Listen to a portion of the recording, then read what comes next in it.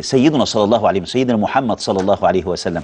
المشاهدة الكريمة تسأل يعني لماذا يفضل سيدنا على سائر الأنبياء في المكانة؟ لأن هو اللي؟ قال. هو اللي قال شوف قال لك أنا سيد ولد آدم. ولا فخر. ولا فخر. ده مش فخر. سيد ولد آدم هو. ده هو سيد الأنبياء وخاتم الأنبياء. الكون كله منذ بدايته. إلى بعثة النبي كان يتهيأ لمجيء الحبيب صلى الله عليه صلى الله وسلم. عليه وسلم. كل الأنبياء كان يبلغ بعضهم قومه بنبي آخر الزمان.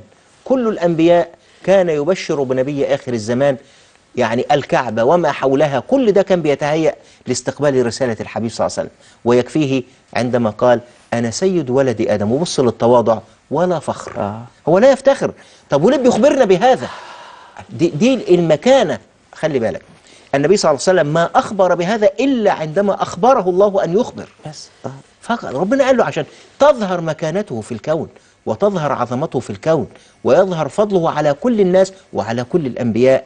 فنسأل الله تبارك وتعالى أن يسقينا من يده الشريفة شربة لا نظمأ بعدها وأن نكون تحت لوائه دنيا وآخرة.